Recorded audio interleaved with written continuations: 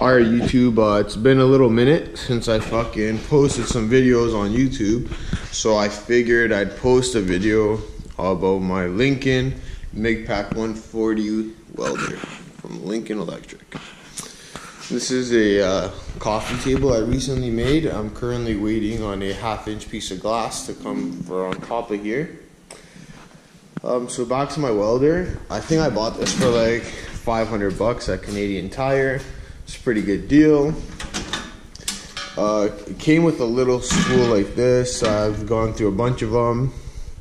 Actually, this is probably one of the ones that it came with, uh, since I like to buy the big coils because they're cheaper.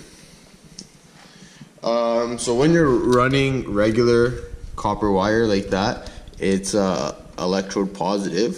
So uh, we are on DC positive for MIG mode. When you do uh, flux core, DC negative, you just have to swap these leads.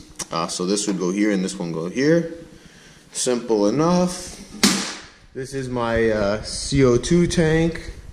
I currently rent it from Praxair. Um, yeah, comes with you know pretty decent uh, ground clamp. It's not those solid copper ones or whatever, but it's close enough. My little MIG gun. Could use a fucking cleaning, that's for sure.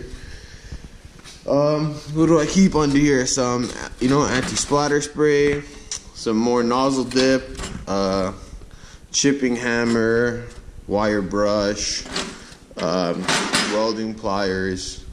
Uh, this is a, it's a gauge, a gauge gauge for sheet metal. So it'll tell you how thick metal is if it fits in the holes. Um, you know, that's about it, ladies and gentlemen. That's my MIG Pak 140 and my latest welding program.